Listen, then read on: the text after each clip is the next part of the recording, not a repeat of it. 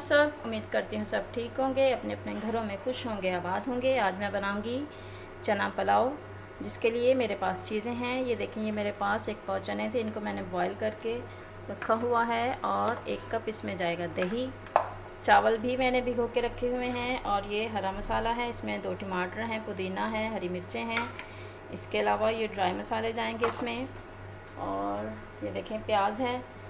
और साबुत गरम मसाले में हैं, काली मिर्चें हैं, लौंग है और इसके अलावा इलायची है, दालचीनी है। चले स्टार्ट करते हैं। ऑयल गरम हो चुका है, अभी इसमें प्याज और गरम मसाला जाएगा एक साथ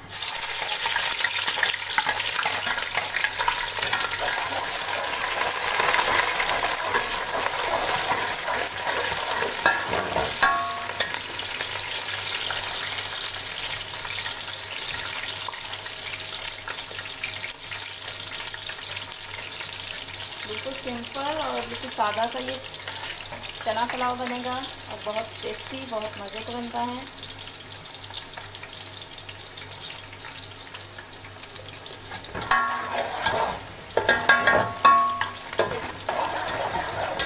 आधे घंटे से चावल मैंने भिगो के रखे हुए हैं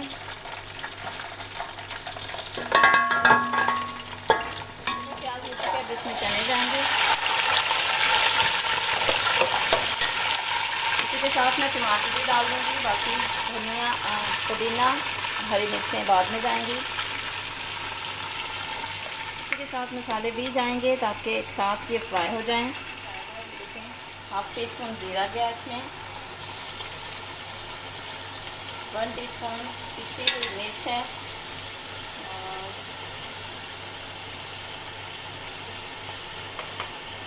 वन टी स्पून कुटी मिर्च जाएगी इसमें। टू टी स्पून इसमें जाएगा नमक। बस ज़्यादा मसाले नहीं सिंपल से इसमें मसाले हैं बस।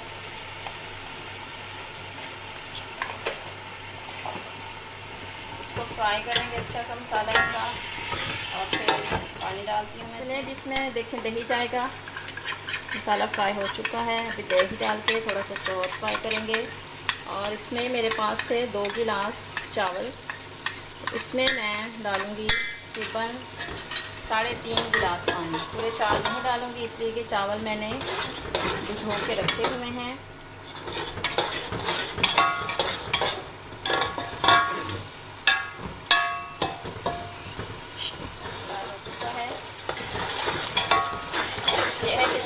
मसाले फ्राई करना है। इसमें डालूँगी पानी। देखिए मेरे पास तीन गिलास ये है पानी। और हाफ़ गिलास ये यानी कि साढ़े तीन बस इसको फ्लेम को तेज़ रखेंगे। जैसे ही बॉयल आएगा इसमें पानी में तो इसमें चावल डालूँगी मैं। पता है इसमें मैं चावल डाल दूँगी।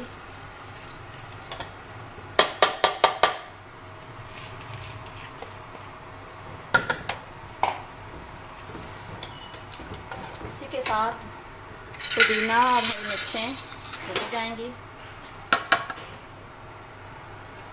मिक्स करके तो फ्लेम को थोड़ा कम करके इसको रखते हैं पकने के लिए। को।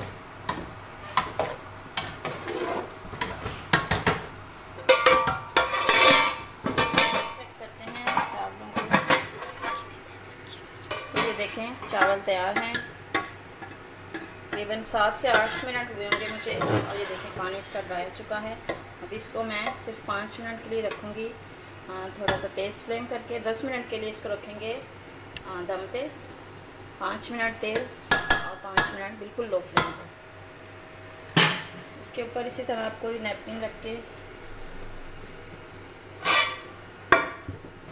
इसको रखते हैं दम पे फिर मिलते हैं इसका फ्लेम मैंने ऑफ़ कर दिया है। देखें दम पे आ चुके हैं चावल। करते हैं डिश आउट। निकालते हैं।